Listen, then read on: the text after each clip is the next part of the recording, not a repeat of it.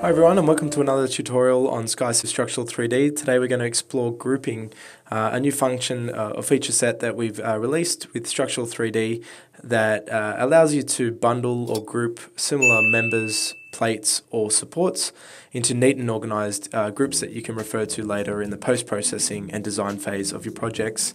Um, so uh, they're really easy to, to sort of organize from the modeling uh, UI. You can just hit uh, advanced groups or you can hit control G and that'll um, open up that part of the, the UI, the grouping UI, which lets you control um, your existing uh, groups or add new groups um, and as well as make the most of our auto grouping functionality as well.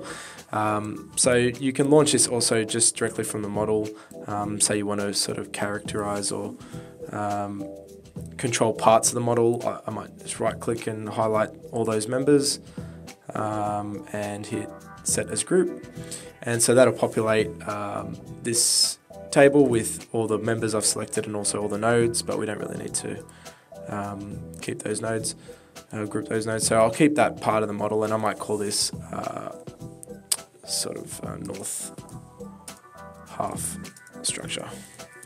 So um, you can use the graphics to, to control and add groups, um, but you can also add them in just by hitting the plus sign and uh, you know adding in uh, custom uh, member IDs to, to your groups there. Uh, I'll also show you the auto grouping functionality. So this is a really, really useful feature that will auto detect and auto categorize um, all your members within the structure. So you, you can see you've got a few controls over what you want to group your members by. Uh, I'll leave the default settings on. And what this has done is created uh, a few sets of groups. Um, so detected, it's detected the different sections and then also uh, collected ones in similar direction. So these are in the in the Z global Z direction uh, with the same material and the same length as well. So um, it's already done a lot of the sort of difficult work for you. So now I can see it's um, grouped all of my columns and I can change these names to be a bit more descriptive to say columns. Uh, it's picked up my bracing members.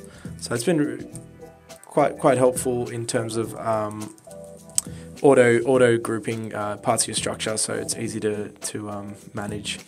And I can also use some of the functionality around sort of uh, merging. So I can see here I've got two columns that I probably want to merge with the rest of the group, uh, the column group. So I'll just hold Control and click that other um, row, and then just hit merge, and that'll create or add them the other two members into this um, one member class so it's all sort of neatly organized.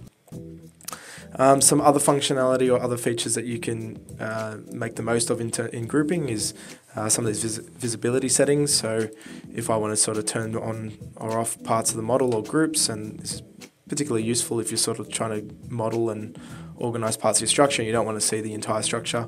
Uh, you can turn groups on and off in terms of visibility, um, which will let you focus on parts of the model that you need to, um, to focus on. And you can also mass edit um, parts of the model. So say you want to change all these columns to a different uh, cross section, I can just hit the edit button and that'll let me edit um, any, any of the attributes of this particular um, group or all the members in this group. Um, so there's some really great um, and useful modeling features that you can use grouping for, um, but there's obviously a whole range of uh, other benefits that you can have in the post-processing and design stage, which we will now look at. So once I'm happy with all my groups, uh, I will run the structural analysis, and I can then review all of my um, groups here on this drop-down. So for instance, if we want to sort of look at the axial forces, this is, can be quite difficult to manage. Um, but if I just look at sort of, just want to look at the columns, um, now this becomes a little bit cleaner to work with um, and lets me focus on particular parts of the design that I really need to focus. For instance, in this case, all the columns of the structure.